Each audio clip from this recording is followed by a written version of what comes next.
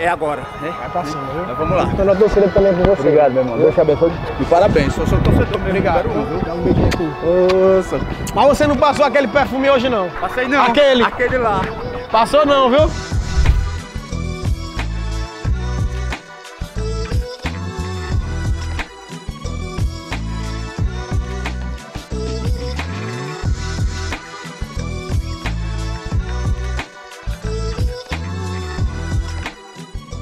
Fala galera, vamos começar agora mais um vídeo. Vou fazer para vocês um vlog mostrando um pouquinho aí do meu dia a dia de competição. Estou em Fortaleza, Ceará.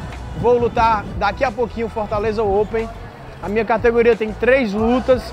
Hoje é sábado, vai- vou fazer a luta de kimono e amanhã a gente vai fazer também o sem kimono, beleza? Então vou mostrar para vocês todo aí esse dia de competição, vocês conhecerem um pouquinho aí.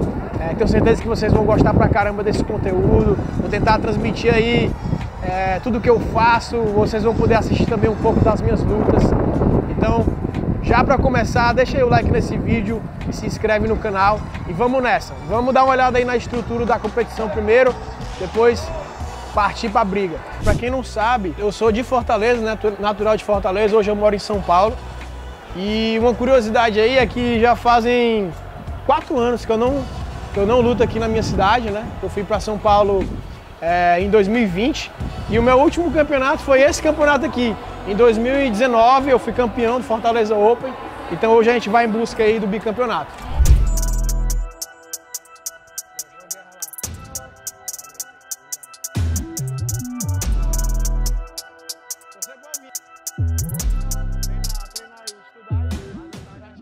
Vamos dar uma olhada aí como é que tá a arena de guerra aí, já fazer o reconhecimento do campo de batalha. Chega aí.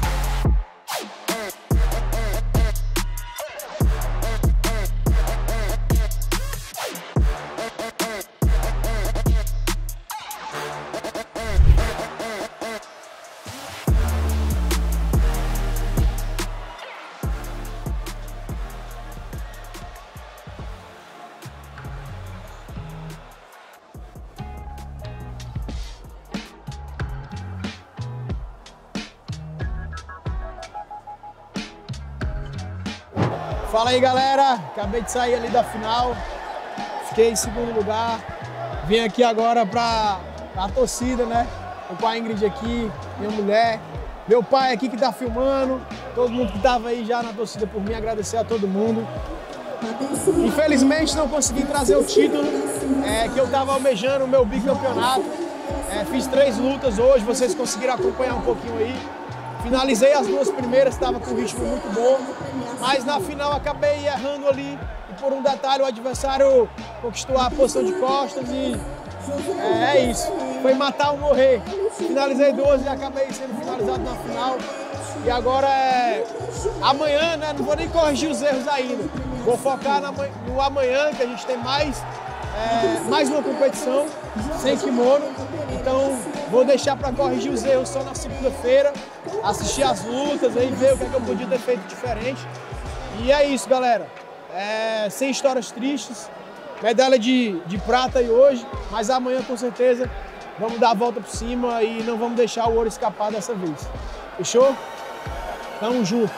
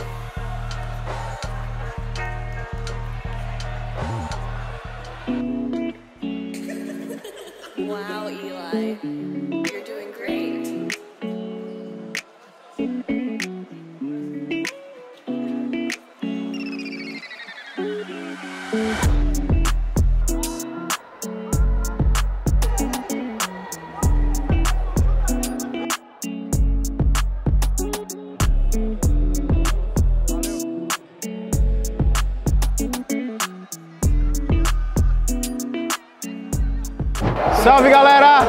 É, acabei de fazer a minha final aí no Senkimono. Hoje consegui o ouro, graças a Deus, como eu havia prometido aí ontem. Voltei com sangue nos olhos, consegui dar a volta por cima. Foram duas lutas, duas finalizações.